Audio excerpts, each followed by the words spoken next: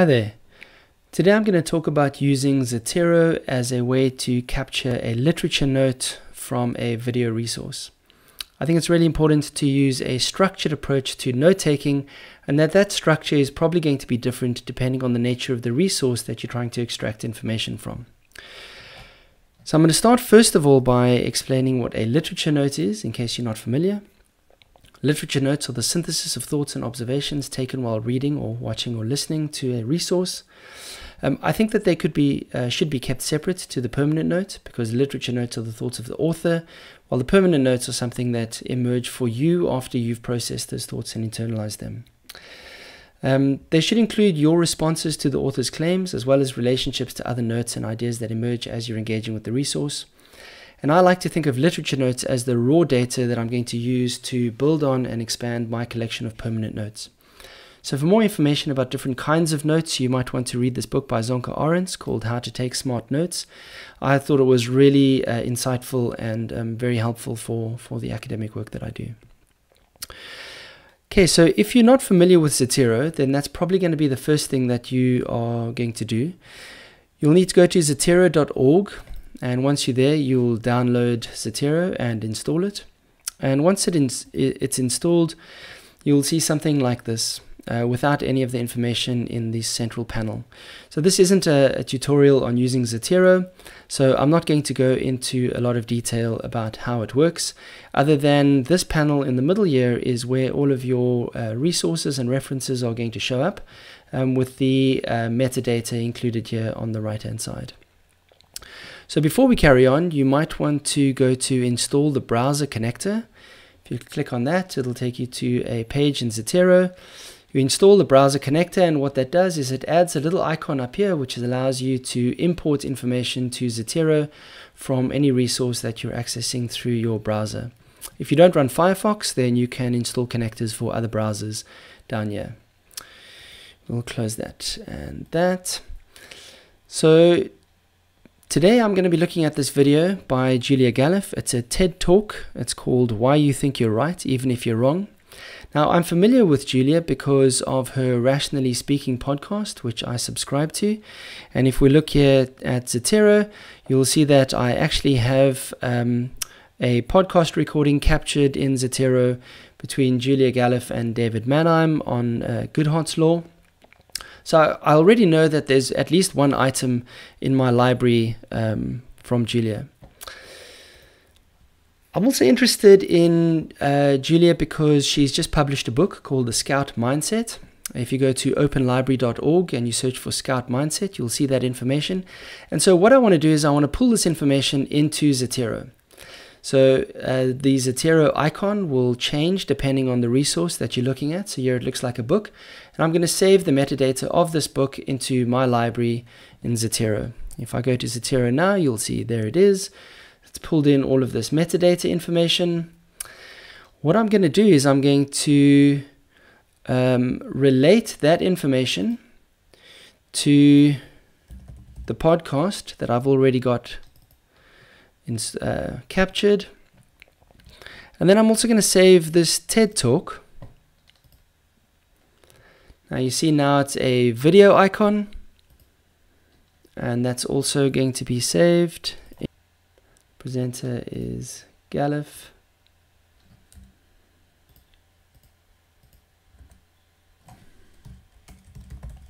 Julia. All right. I'm also going to capture this information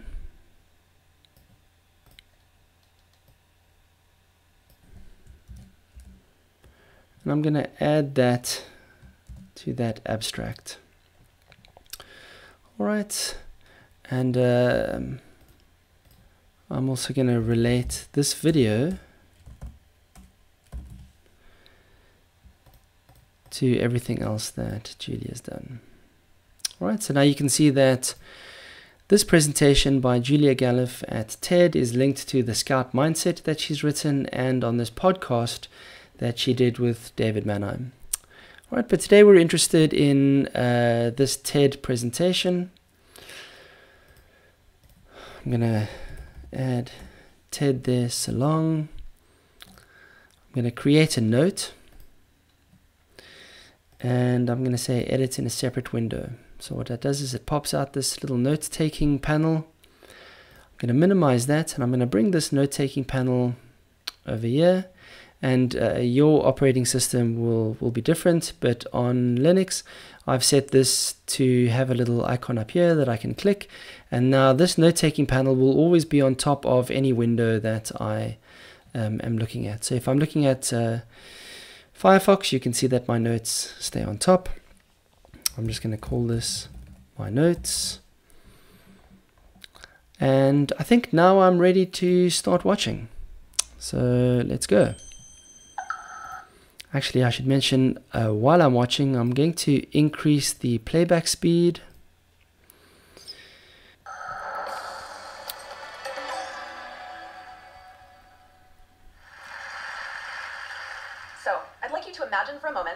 A soldier in the heat of battle.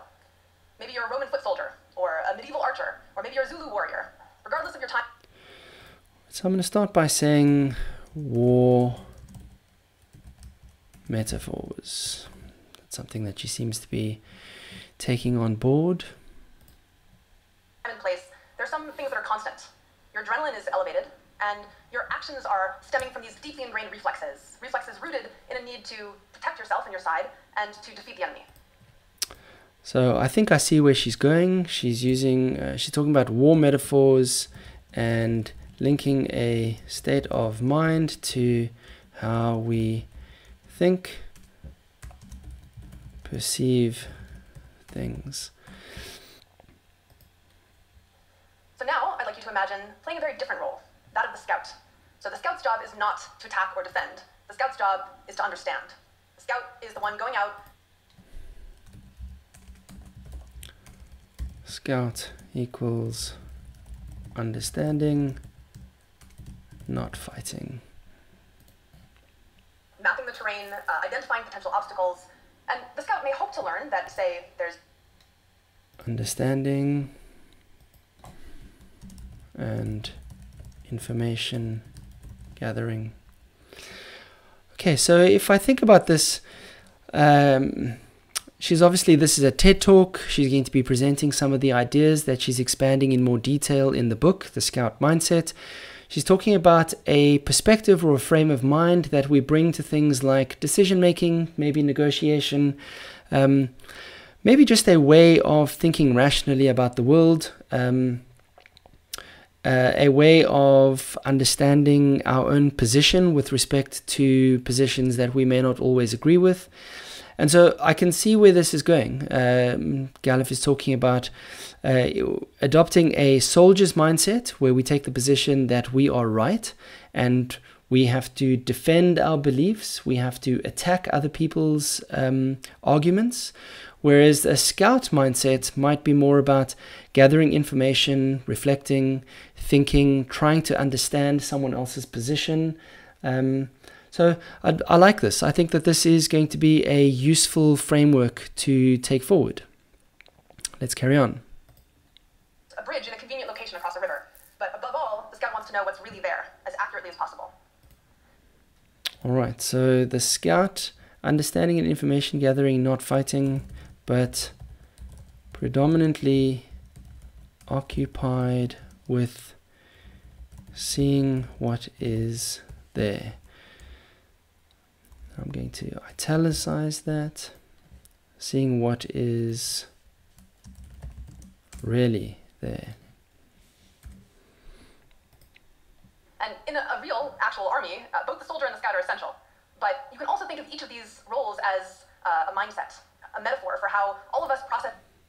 Okay, so I think I've got enough to maybe go back to Zotero. I'm going to move this out the way. I'm going to start adding some tags metaphor, perspective, decision making, argument, negotiation, um, information gathering. So you can see how I'm I'm starting to link the notes that I'm taking with uh, tags that I'm adding to the other metadata in, in Zotero. All right, let's go back to the video. Information and ideas in our daily lives. And what I'm going to argue today is that having good judgment, making accurate predictions, uh, making good decisions, is mostly about which mindset you're in. Okay, so good judgment, accurate decisions are partly related to your mindset.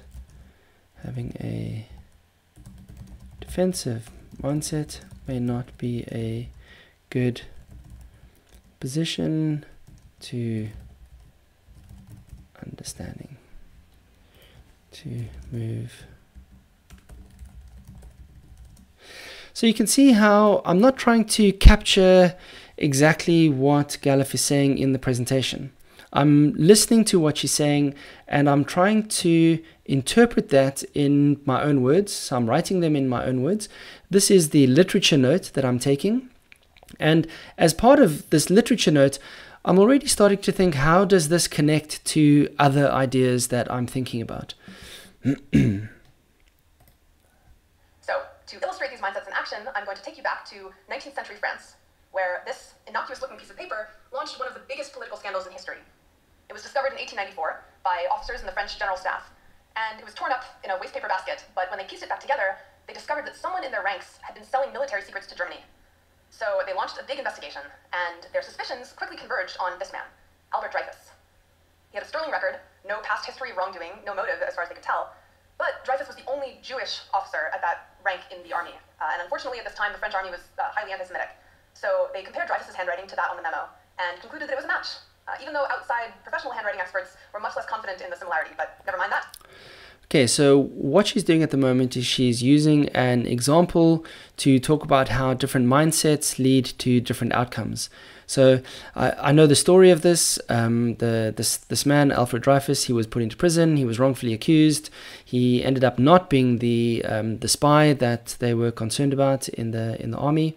Um, but it didn't matter. The the people who were involved in in the trial, they didn't see what was in front of them. They had a preconceived idea, and that was informed by this kind of soldier mindset that that they had. And so Dreyfus talks about a um, a, a, a, new um, commander that came into the army with a different mindset and re-investigated the trial and um, set this man free, Alfred Dreyfus uh, free. Um, and so all, all that she's doing here is she's using an example to talk about um, how different mindsets lead to different outcomes. So I'm not going to capture any of this information because that particular historical incident is not really of much interest to me, um, other than uh, you, she's using it as an example to reinforce her ideas. So I'm going to skip forward a little bit because I'm not really interested in the details of that example. Okay, so she's used that example, she's finished it, and now um, she's moving on to something else. There's another thing that I uh, quite uh, often do when I'm watching videos, and that's if I see a picture um, that is being presented that I want to capture for uh, later reference. That's okay. I'll use my other screenshot tool.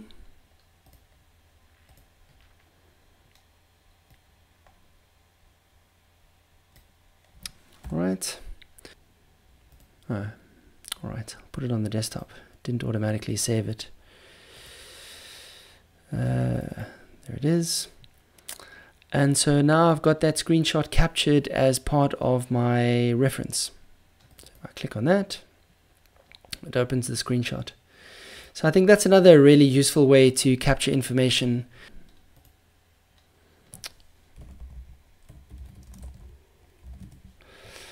soldier's mindset.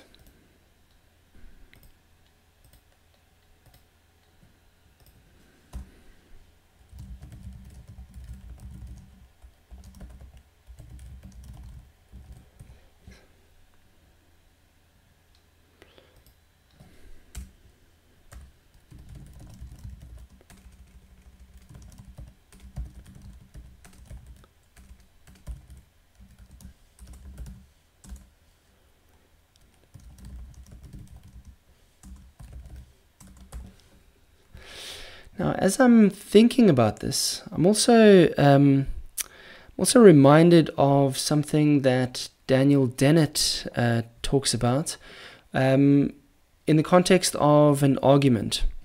Um, now, I actually want to see, I've maybe made a note about this in the past. Critical commentary. So I do have a note on critical commentary. You can see it's not a very well structured note. But what I'm going to do is I'm going to say, yeah, link to Dennett's framework for criticizing the ideas of others. But you can see how now I've started to think a little bit more expansively. I'm not only looking at what Galef is talking about, I'm actually trying to find connections with other ideas that I'm aware of. So I might start putting together a note that's related to argument from a philosophical perspective, and then I might start bringing in some of Galef's ideas into that note, as well as Dennett's. I think there are also some other notes that I have in my collection of permanent notes that relate to this idea of um, of building arguments. So you can see how my literature note isn't just a, um, a, a snapshot of the presentation that I'm watching. The whole point of it is while I'm watching, I'm already uh, thinking about ways that this information connects to uh, other, other ideas, other concepts. Shape the way we interpret information. So some information, some ideas feel like our allies and we want, we want them to win, we want to defend them. And other information or ideas are the enemy and we want to shoot them down. So uh, this is why I call motivated reasoning soldier mindset and probably most of you have never persecuted a French Jewish officer for high treason, I assume, uh, but maybe you've followed sports or politics. So you might have noticed that uh, when the referee judges that your team committed a foul, for example, uh, you're highly motivated to find reasons why he's wrong. But if he judges that the other team committed a foul, awesome, that's a good call. Let's not examine. I'm going to say our beliefs and biases influence our behavior too closely. Um, or maybe you've read an article or a study that's examined some controversial policy, like capital punishment. And as researchers have demonstrated, if, if you support capital punishment and the study shows that it's not effective, um, then you're highly motivated to find all the reasons uh, why the study was poorly designed. But if it shows that capital punishment works, awesome, it's a good study. And vice versa, if you don't support.